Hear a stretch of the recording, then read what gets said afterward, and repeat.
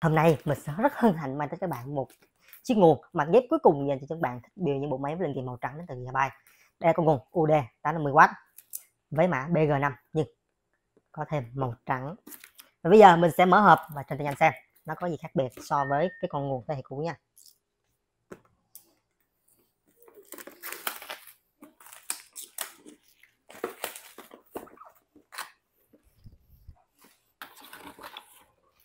Đây. Ở bên trong chúng ta sẽ vẫn có một bịch chống ẩm nè. Một cái bịch bốn con ốc. Cái này sẽ không là phủ màu đen nữa mà chuyển qua là để nguyên bằng sắt. Rồi sau khi mình mở hộp ra bạn thấy đây một chiếc nguồn màu trắng hoàn toàn. Và thực chất nó cũng giống tương tự với cái con nguồn mã thường thôi nhưng nó có màu trắng.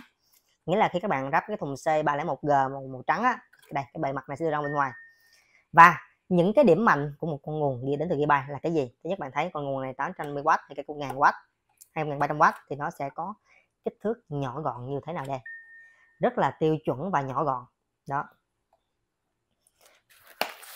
Rồi, sơ bộ thì nó là màu trắng thôi. Dây nguồn màu trắng các bạn khá là độc lạ nha, cái dây này màu trắng. Đây, dây BG5 và lý do vì sao các bạn nên xài nguồn có mã BG5 cho dòng series 40 á, nhất là những con từ 4070 Master trở lên. Tại vì những cái dòng như là Winford của Gigabyte thì mình đã xài cái đầu nguồn 8 pin bình thường rồi, nhưng riêng với đầu con master thì chúng ta vẫn sẽ xài cái đầu nguồn 12 4 như thế này đây. Cái bốn ở đây là bốn cái đầu tín hiệu này nè, mình đã có giải thích trong clip trước rồi nha. Các bạn coi clip đó giúp mình. Ở đây, toàn bộ dây cáp, đúng như mình nghĩ, nó cũng là màu trắng luôn. Kể cả cái dây quấn cáp cũng màu trắng luôn. Đó, đây là mình đã mở hộp và trên tay nhanh cái con nguồn B UD 850GM BG5 màu trắng này rồi.